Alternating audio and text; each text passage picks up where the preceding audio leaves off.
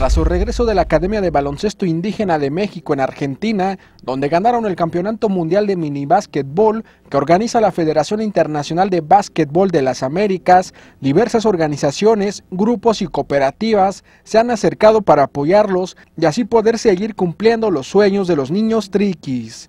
Tal es el caso de la cooperativa Acreimex en Oaxaca, que este miércoles firmó un convenio con la academia con la finalidad de apoyarlos con 15 mil pesos mensuales por un año. Ante esta situación, el director de la BIM, Guillermo Merino, detalló que es un honor formar parte de este grupo que con el escaso recurso que han recibido han logrado poner en alto a los grupos indígenas del Estado.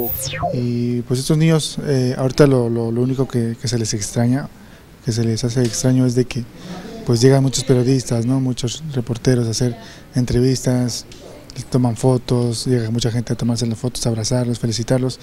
Eso es lo, único que, ellos ahorita, pues como que es diferente, ¿no?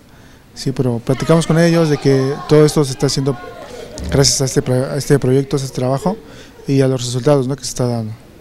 De hecho, más aparte de lo que es las comunidades indígenas de aquí de México, pues mucha gente de diferentes eh, eh, países piden eh, este proyecto, pero pues lo que queremos es primero Oaxaca, sí poner en alto Oaxaca, hacer algo bien para Oaxaca, después los diferentes estados y con lo siguiente, ¿no? de, ir a diferentes países a, trabajar.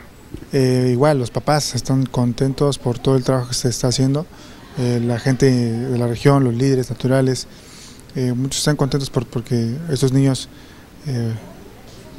casi todos, ¿no? tenían la, la, la mentalidad de que, no podían hacer nada, nada más ir a Estados Unidos a trabajar y todo eso.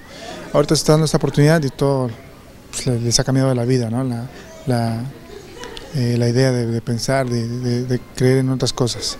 Con imágenes de Oswaldo Mijangos informó para MBM Televisión, Irán Sánchez.